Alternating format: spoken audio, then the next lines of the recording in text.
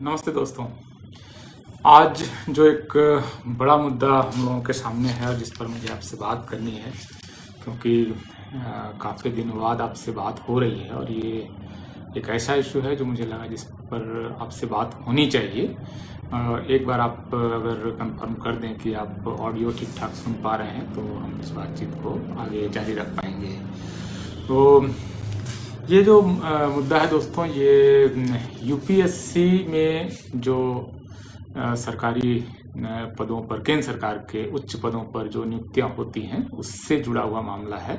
और जैसा कि आप जानते हैं कि यूपीएससी एक कॉन्स्टिट्यूशनल बॉडी है, एक संवैधानिक बॉडी है, जिसका संविधान में प्रावधान है। और उसका काम जो है, वो ये है कि भारत सरकार के लिए नौकरशाही का वो चयन करती है। तो एक तरह से बहुत महत्वपूर्ण एक इसका काम है कि जो देश को चलाने वाली संस्थाएँ हैं, उसमें नौकरशाही एक प्रमुख संस्था है और जिससे ये देश चलता है। आप समझ सकते हैं कि किस तरह से एक कलेक्टर जो आमतौर पर आईएएस के अपना फ़र्स्ट प्रमोशन के बाद बनता है या एक एसपी वो कितना महत्वपूर्ण होता है। तो आगे चल जाते हुए वो जब वो कमिश्नर या एसएसपी, आईजी, डीजीपी या जॉइंट सेक्रेटरी एडिशनल सेक्रेटरी और सेक्रेटरी तक बनता है। तमाम बड़े कॉरपोरेशन में मैनेजिंग डायरेक्टर और ये सब बनता है। एक एक लोगों एक एक ऐसे अफसर के नीचे चालीस हज़ार पचास हज़ार तक सरकारी कर्मचारी होते हैं। तो ये यूपीएससी का जो काम है खास करके सिविल सर्विस के अफसरों का जो चयन है ये बहुत महत्वपूर्ण है। और ये एक तरह से देश को चलाने वाली जो प्रमुख संस्थाएँ हैं और ये चूँकि भंग नहीं होती है विधानसभा या लोकसभाओं की तरह, सरकारों की तरह बदलती नहीं है। तो बहुत पावरफुल बॉडी है और ये एक तरह से देश को संचालित करने वाली नियामक संस्था जो एक तरह से जहाँ पर नीतियाँ बनती हैं, नीतियाँ लागू होती है, उसकी संस्था है। तो यूपीएससी जिस तरह से इस नौकरशाही का चयन करता है, इस पर कड़ी नज़र हम सबकी होनी चाहिए। हर साल एवरेज अगर आप देखें आज़ादी के बाद से तो आम तौर पर एक हज़ार प्लस माइनस दो सौ के आसपास मतलब आठ सौ से लेकर रेंज आप मोटे तौर पर रख लीजिए, बारह सौ, चौदह सौ तक अफसरों का, सिविल सर्विस के अफसरों का चयन यूपीएससी के ज़रिए होता है। भारत सरकार उसकी नियुक्ति करती है और इसकी नोडल जो मिनिस्ट्री है, वो डीओपीटी है। उसको इस काम को करना होता है। अब ये जो पूरा पूरी नियुक्ति है, इस पर चूँकि कड़ी निगाह लोगों को रखनी चाहिए एक एक अफसर इतना पावरफुल होता है और ये आप समझिए कि इतनी इस नौकरी की इतनी आप अहमियत का अंदाज़ा लगाइए कि ग्यारह, बारह लाख तक लोग कई बार आपको इसके प्रीलिम्स के एग्ज़ाम के लिए तैयारी करते हैं। कई कई लोगों की ज़िंदगियाँ खप जाती हैं। बहुत श्रम करते हैं, बहुत मेहनत करते हैं, बहुत लगन से लोग इसकी तैयारी करते हैं। तो इसमें जो नियुक्ति का तरीका है, इसमें एक महा घोटाला सामने आया है। अब दिलचस्प ये है कि यूपीएससी ने अपने अब तक के इतिहास में आज़ादी के समय से यूपीएससी है इस देश में। तो यूपीएससी अपने पूरे इतिहास में पहली बार किसी घोटाले पर एक सफ़ाई देती है और ये सफ़ाई दी जाती है सिक्स अगस्त को कि हम कोई घोटाला नहीं कर रहे हैं हम नियमों के तहत नियुक्तियाँ कर रहे हैं। तो आप समझिए कि आ, सोशल मीडिया पर जो इसको लेकर जो विवाद उठा है वो कितना महत्वपूर्ण है कि यूपीएससी को खुद सामने आकर इसकी सफ़ाई देनी पड़ी है। अब ये मामला क्या है इसको आप सारा गौर से सुनिए मैं बहुत सारे लोग चूँकि इस विवाद को पहली बार देख रहे हैं। बहुत सारे लोग अभी मुझे दिख रहे हैं। मुकेश गौतम, इंद्रजीत यादव, राहुल राज जय भीम जय पेरियार और और भी सारे लोग देखिए, अपने रामावतार मीना जी हैं आशीष खुसरे जी हैं, कमलकांत गुरवे जी हैं। बहुत सारे लोग इसको देख रहे हैं। इसमें से कई सारे ऐसे लोग हैं जो इस घोटाले के बारे में पहली बार सुन रहे होंगे। कुछ लोग जो यूपीएससी के एप्लीकेंट्स हैं, उनको इसके बारे में बहुत अच्छे से मालूम होगा। उनके अपने कोचिंग सेंटर्स वगैरह में इस घोटाले की चर्चा भी हुई होगी, ज़ाहिर है। जो इस घोटाले की पहली के अगस्त में चली चर्चा से वाकिफ हैं, उनको मालूम होगा कि घोटाला क्या है। लेकिन मैं शुरू कर रहा हूँ उन लोगों के लिए जो इस घोटाले के बारे में पहली बार सुन रहे हैं, ताकि उनको अंदाज़ा हो कि ये पूरा मामला है क्या और इससे किस तरह से भारत को चलाने वाली जो नौकरशाही है उसके चयन में किस तरह की धांधली हो रही है और खास करके एस सी और ओबीसी किस तरह से इसमें आ, मारा जा रहा है किस तरह से उसकी सीटें जो है वो लूटी जा रही हैं। जैसे इस साल का मैं उदाहरण दे रहा हूँ उसके बाद फिर आपको एक नॉर्मेटिव आइडिया के तौर पर मैं आपको हंड्रेड या थाउज़ेंड के स्केल पर उस चीज़ को फिर रखने की कोशिश करूँगा। देखिए हुआ क्या है जैसे इस साल का की लिस्ट मेरे सामने है और आप, मुझे पता नहीं कि अगर मैं इसको आपको आईपैड पे दिखाऊँ तो वो आपको रिवर्स आएगा या सीधा आएगा। एक मिनट, में कोशिश करता हूँ कि आप इसको देख पाए ये किस तरह से ये सारा मामला सामने आया है। देखिए, इस साल केंद्र सरकार ने यूपीएससी को कहा कि आप 927 अफसर हमें चाहिए वो अलग अलग आईएएस आईपीएस और आईएफएस और ये अलग अलग कैटेगरीज के सब मिलाकर हमें 927 अफसरों की लिस्ट भेजिए यूपीएससी का काम सिर्फ़ ये था कि वो सिलेक्शन करके एक लिस्ट 927 अफसरों की 927 अफसरों की वो सरकार को भेज देती और सरकार उसको नियुक्त कर लेती ये होता एक फेयर और ट्रांसपेरेंट तरीका। लेकिन यूपीएससी का जो रिज़ल्ट आता है फोर्थ अगस्त को पिछले साल यूपीएससी नौ सौ सत्ताईस लोगों की लिस्ट सरकार को नहीं भेजती है। इसकी जगह यूपीएससी क्या करती है? आठ सौ उनतीस लोगों की एक लिस्ट भेजती है कि इन लोगों का हमने सिलेक्शन किया है और आप इनको नियुक्ति दे सकते हैं। तो इस तरह से एक यूपीएससी ने आठ सौ उनतीस लोगों की एक लिस्ट भेजी। अब नौ सौ सत्ताईस लोग जो चुने जाने थे, केंद्र सरकार ने जिन लिस्ट को, जितने लोगों को लिस्ट भेजने के लिए यूपीएससी से कहा था, उसमें से तीन सौ संतानवे लोग जनरल कैटेगरी के होने थे, तिरासी लोग ईडब्ल्यू के होने थे, दो सौ इक्यावन ओबीसी के होने से एक सौ उनतीस एस के और सड़सठ एस के होने थे। अब यूपीएससी जब लिस्ट भेज रही है तो अड़सठ, सिक्सटी सेवन, सड़सठ एस के बदले में सड़सठ की लिस्ट वाले भेजती है शेड्यूल्ड कास्ट के एक कैंडिडेट के बदले में एक की ही लिस्ट भेजती है। ओबीसी के दो सौ इक्यावन की जगह दो सौ इक्यावन की ही लिस्ट भेजती है। ईडब्ल्यू uh, के तिरासी की जगह अठहत्तर की लिस्ट भेजती है। बड़ा घोटाला कहाँ होता है? जनरल की तीन की जगह 304 की ही लिस्ट यूपीएससी यहाँ पर भेज रही है। अब ये जो पूरा मामला हुआ क्या है?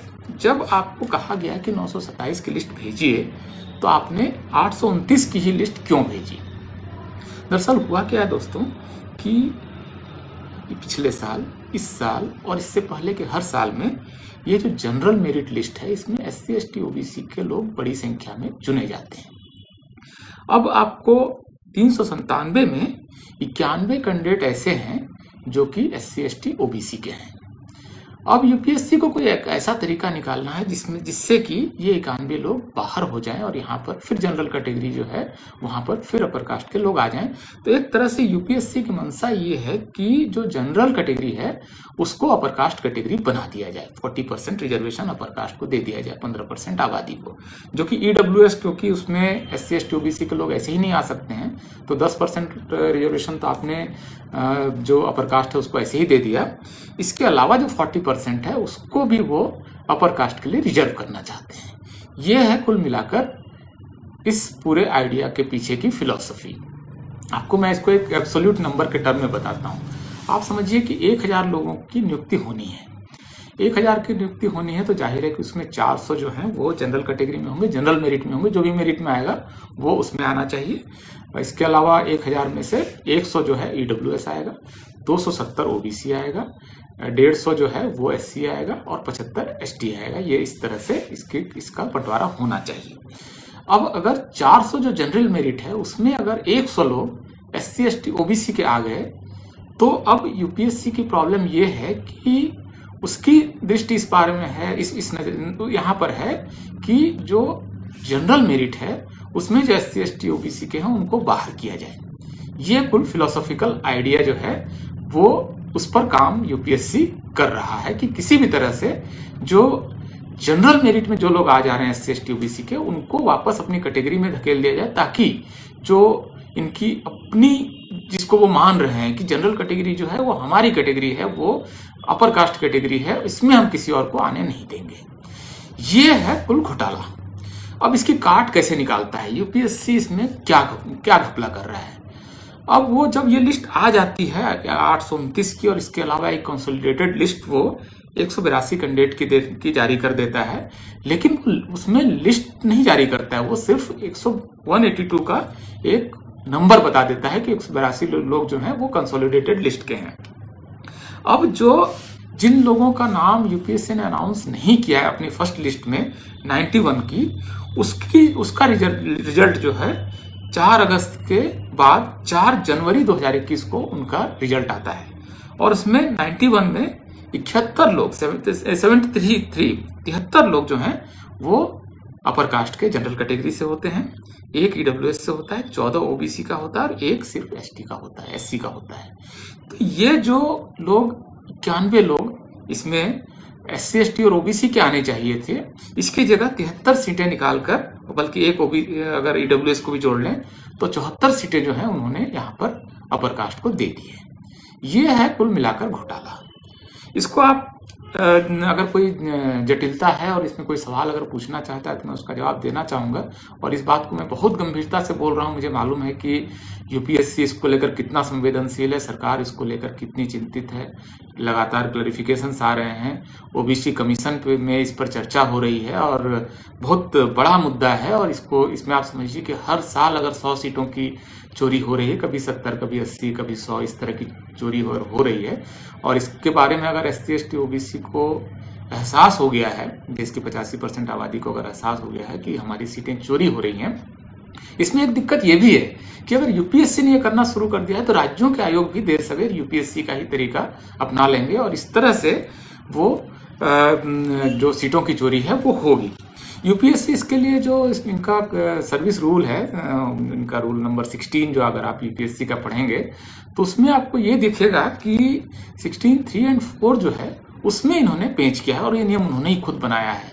नियम ये है कि अगर आप S C S T OBC के हैं लेकिन आप अगर जनरल मेरिट में आ गए हैं तो और जनरल मेरिट में अगर आप, आपका रैंक थोड़ा नीचे है तो अगर आप अपनी कैटेगरी में वापस लौट जाते हैं तो आपको अच्छी सर्विस मिलेगी। अगर आपको आई चाहिए तो आई मिलेगा आईपीएस चाहिए तो आईपीएस मिलेगा। ये ये जो एक व्यक्ति का इंटरेस्ट है, उसको वो अपफ्रंट कर दे रहे हैं और ये कह रहे हैं कि आप अपनी कैटेगरी में कैटेगरी में लौटिए तो आपको अपनी अच्छी सर्विस मिलेगी। और जैसे ही आदमी यहाँ से अपनी जनरल मेरिट से निकलकर अपनी कैटेगरी में लौटता है तो एक सीट जो खाली होती है, वो उस कैटेगरी से ना भर के उसको वो जनरल मेरिट से भर देते हैं, जो अक्सर अपर कास्ट का का कैंडिडेट होता है। ये काम मोदी सरकार में बेधड़क बेधड़क हो रहा है, लेकिन अब चूँकि सोशल मीडिया का समय है, पहली बार इसको लेकर इतनी चर्चाएँ हो रही हैं, पहली बार इतनी बात हो रही है। आपको ट्विटर पे दो दिन लगातार ट्रेंड हुआ, करीब करीब उस पर तीन लाख से ज़्यादा लोगों ने ट्वीट किया तो ये पूरा जो मामला है, ये अब धीरे धीरे खुल रहा है और अब इसमें दिक्कत हो रही है। इसमें सरकार ने एक और खेल किया है क्योंकि उसको मालूम है कि सरकार इस काम को नहीं कर सकती। सरकार पकड़ी जाएगी तो उस पर दबाव बढ़ेगा पार्लियामेंट में हंगामा होगा। तो सरकार ने क्या किया कि एक इस मामले को वो सुप्रीम कोर्ट में ले गई और एक जजमेंट आता है दो, 2010 में सात मई 2010 में union of India versus Ramesh Jain case में।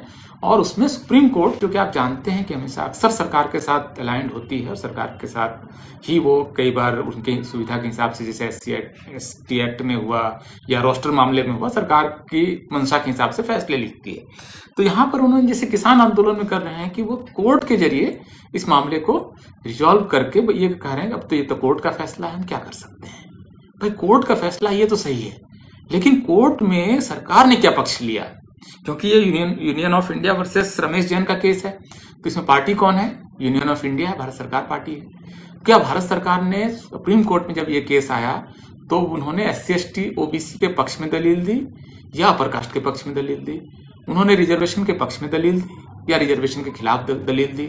तो हम देखेंगे, अगर उस जजमेंट को आप पढ़ेंगे union of India versus Ramesh Jain आप सुप्रीम कोर्ट की वेबसाइट पर इसको देख सकते हैं। सात मई 2010 का फैसला है। इसमें पाएँगे कि कोर्ट में जब भारत सरकार जाती है तो भारत सरकार वहाँ पर रिजर्वेशन के खिलाफ दलील देती है। और वो ये देती है दलील कि हमारा जो नियम है कि S C S T OBC को जिस, किस तरह से, जिस तरह से ये उस कैटेगरी के अंदर फंसा के रख देना है, ताकि जो जनरल मेरिट है वो अपर कास्ट की सीटें बन जाए तो इसके पक्ष में वो दलील देती है। अब ये दलील जो है, ये बहुत दिलचस्प है। इसको, इसके बारे में आपको मैं पढ़ के सुनाता हूँ कि यूपीएससी ने जो सिक्स अगस्त को इसका क्लेरिफिकेशन दिया है, वो क्लेरिफिकेशन क्या है? वो ये बता रहे हैं कि for recommendation to the services post under civil service examination the commission strictly goes by the rule of examination as notified by the government of India अब देखिए कि यहाँ पर पार्टी जो है वो सुप्रीम कोर्ट नहीं है। गवर्नमेंट ऑफ़ इंडिया ने एक रूल नोटिफाई किया है और नौ वैकेंसीज के बदले में जो वो आठ सौ उनतीस कैंडिडेट का वो लिस्ट जो जारी कर रहे हैं, वो रूल सिक्सटीन फोर और सिक्सटीन फाइव के तहत है। तो यहाँ पर आप देखिए तो एक तरह से यूपीएससी ये बात तो सही कह रही है कि नियमित नियमों के तहत कर रही है, लेकिन घोटाला तो नियमों में है। आपने नियम ऐसे बनाए हैं कि आप मजबूर कर रहे हैं S C S T OBC के मेरिट में आए हुए कैंडिडेट को कि आप अपनी कैटेगरी में जाइए ताकि हमारी जो बाकी की सीटें हैं, वहाँ पर हम अपर कास्ट को वो सीटें दे सकें।